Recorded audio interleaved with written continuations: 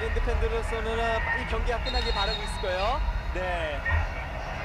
김영각 골키퍼가 시간을 지원했다는 이유로 경고를 경고를. 받았죠. 네. 아, 외국인 팬들 굉장히 좋아하는 모습입니다. 그렇습니다. 자, 저런 게 서포터즈 하나의 문화이기도 하고요. 또 네. 저런 문화가 있기 때문에 축구 팬들을 즐거워할 수밖에 없고요. 또 어떻게 보면 이랜드로서는 저런 문화를 잘 만들어가고 있기 때문에 하나의 문화거리를 제공한다는 것은 축구 팬들로서는 굉장히 좋은 모습이라고 볼 수 있네요. 그렇습니다. 중원성 치열합니다. 김현근이 이겨냈습니다. 김현근 안쪽으로 찔러줬습니다. 주민규, 주민규, 주민규